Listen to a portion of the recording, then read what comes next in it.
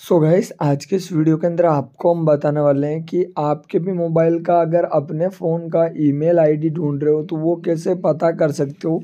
इस वीडियो के अंदर मैं आपको बताने वाला हूँ तो वीडियो को लाइक एंड चैनल को भी सब्सक्राइब कर दें।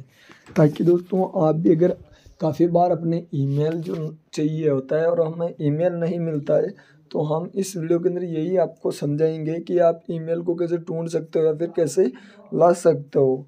तो वह वीडियो को लाइक एंड चैनल को सब्सक्राइब कर दे तो वीडियो स्टार्ट करते हैं गाइज़ ठीक है? तो यहाँ पर आपको सबसे पहले करना क्या होगा?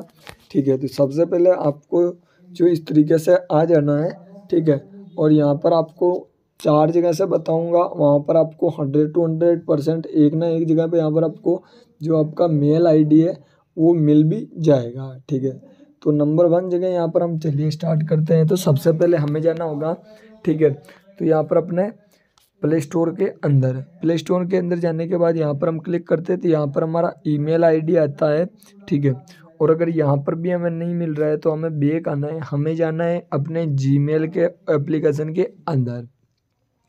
जीमेल एप्लीकेशन के अंदर जाते हैं तो यहाँ पर आप देख सकते हो, यहाँ पर हमारी जो जीमेल है, वो यहाँ पर आ चुकी है, ठीक है? ये हमारा ईमेल आईडी होता है, ठीक है?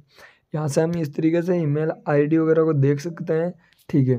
और या फिर आप यहाँ पर गूगल पे कर भी यहाँ पर भी ये भी लिख सकते हो my E M A email I D ठीक है? माई ई मेल आई डी तो यहाँ पर आप जैसे क्लिक करोगे, ठीक है? तो क्लिक करने के बाद यहाँ पर आपके सामने इस तरीके से वगैरह ऑप्शंस वगैरह आते हैं तो यहाँ पर गूगल मीट पर क्लिक कर लेना है, ठीक है? गूगल मीट पर क्लिक करना का तो यहाँ पर स्टार्ट ट्रायल पर जाओगे तो यहाँ से भी आपकी ईमेल आईडी वगैरह, या फिर इस पर क्लिक करोगे तो यहाँ पर भी आपकी ईमेल आईडी शो हो जाती है, ठीक है, यहाँ पर। अगर ये गाइस वीडियो अच्छा लगा तो वीडियो को लाइक एंड चैनल को सब्सक्राइब कर दे, ताकि जो भी नए वीडियो आए, उनकी जानकारी सबसे पहले आपको मिले।